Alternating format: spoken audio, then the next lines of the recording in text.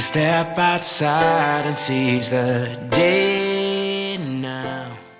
Hey now.